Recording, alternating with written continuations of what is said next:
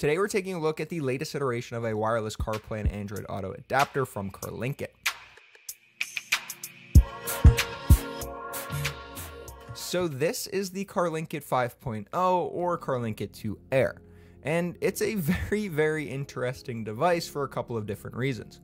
Um, but kind of going back, I did a recent review of the CarLinkit 4.0, which you can see right in the top right corner. Uh, and that video, it really kind of showcased the power of transforming your wired CarPlay solution into something that enables both wireless CarPlay and wireless Android Auto.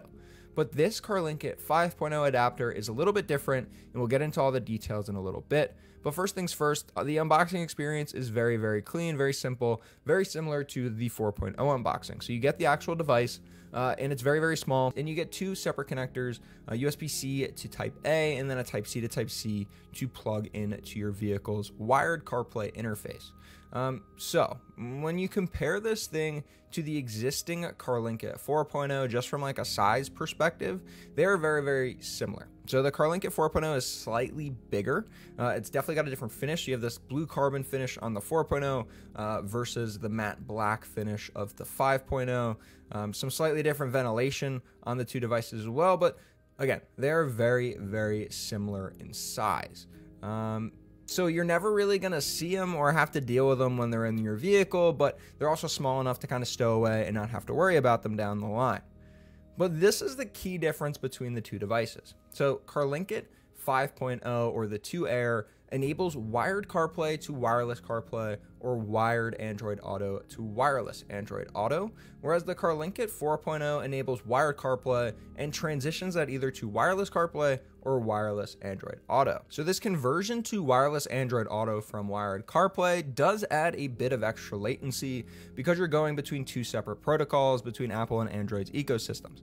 Um, so if you want the cleanest and, and, and smoothest uh, latency between your device and your vehicle, you're better off going with the CarLinkit 5.0. But if you're in a situation where you have an Android branded phone and your vehicle only has wired CarPlay, you're probably stuck going with the CarLinkit 4.0. And uh, you're not really stuck with it. It's still a great experience, just maybe a little bit more latency. And now we can actually test it out in a vehicle. So we're going to use a 2021 Jeep Wrangler for this test, but I've tested this thing out with Mercedes, BMW, uh, Chevrolet, a bunch of different auto manufacturers, and these things work great with anything. And first things first, just plug it in, see how long it takes to kind of boot up and get ready to connect. And with the CarLinkit 4.0, it's very, very quick. And now to test the actual connection speed. So we're to connect to the device from Bluetooth uh, and see how long it takes to actually populate Apple CarPlay on the vehicle display. And it's actually extremely, extremely quick, taking only nine seconds to get that connection. And once we're in there, it, it's a little laggy at first, but it starts to smooth out. Uh, we can play our music. It's very, very quick in terms of that kind of latency. And, and the music distortion, there isn't really anything. Uh, maybe a little delay to start and stop, but besides that, the music still sounds as good as it would if you had a wired connection. And once you get things going, it, it, starts to smoothen out and become a lot more responsive than when you first plug it in. But that's kind of typical even with wired CarPlay. Now let's just do a quick test with Siri. Hey Siri, what's the score of the Yankee game? The Yankees overcame the Padres by a score of 10 to 7 today. So you can see Siri is extremely responsive as well. Pretty much no latency, and it sounds really good uh, as well. So like no no problem there.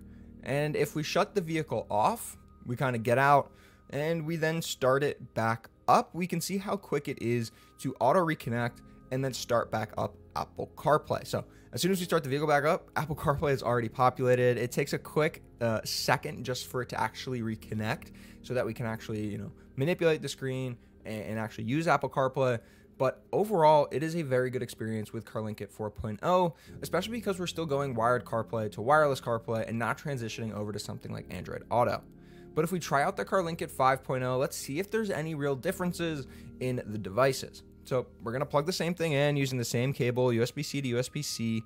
Um, and you can see now the light is built into the actual CarLinkit logo. Um, but besides that, the devices are very, very similar.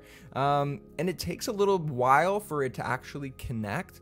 And it never actually populates the CarPlay connection until I go into Bluetooth and connect to the device. So let's do that. We'll connect to the device and it takes a little bit longer for this thing to start up and actually get connected. But I think that's just the way this thing is connecting to CarPlay. So now you can see it populates the same screen as the 4.0. It shows the connection screen, and the connection from here is very, very similar to that of the CarLinkit 4.0, which just never really gets to this screen until you start up Bluetooth. So once you're in there, though, very, very good, responsive, maybe a little bit of lag similar to the 4.0, but these are kind of the same test. Like we're going wired CarPlay to wireless CarPlay, no transition over to the Android Auto side of things. So if you did have an Android device, you would be able to do that transition and the latency would be a lot quicker, not having to go from CarPlay to wired or wired CarPlay to wireless CarPlay and vice versa. The one thing I did notice is that this comes with the app for your typical user interface for the actual car. So in this case, it says Volkswagen, not Jeep. I guess Volkswagen makes the uh, user interface or the system for Jeep, um, but it didn't have that with the CarLinkit 4.0. So I don't know if it's using a slightly different protocol or interface uh, to talk to the car between CarLinkit 5.0 and 4.0, but you have that functionality now with the 5.0. And to do another quick Siri test. Hey Siri, what's the score of the Yankee game? The Yankees outdid the Padres by a score of 10 to 7 today. Again, pretty much the same experience as the CarLinkit 4.0. And if we turn off the vehicle, um, again, we'll see how quick this thing is to reconnect and auto start back CarPlay up. Maybe a little bit quicker than the 4.0, um, but again, because we're going wired CarPlay to wireless CarPlay with both devices, it's pretty much the same experience. It's really when you're using that different uh, brand of device either going wired uh, CarPlay to wireless Android Auto or wired Android Auto to wireless CarPlay, where you start to see those latency things because you're converting signals between the two protocols. Um, but again, it really comes down to which device you need and also how much you want to spend. So the CarLinkit 4.0 right now is $99 versus the 5.0 at $109, so a $10 difference. Either way, if you use the code TRU at checkout, uh, you can get 18% off.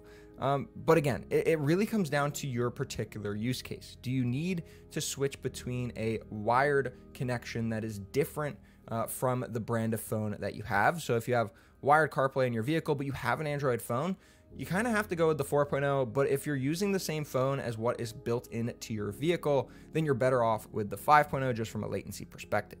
So I hope you guys enjoyed the video. If you did, give it a thumbs up. Any questions or comments, leave those down below. If you haven't already, get subscribed to the channel, and I'll see you guys in the next one.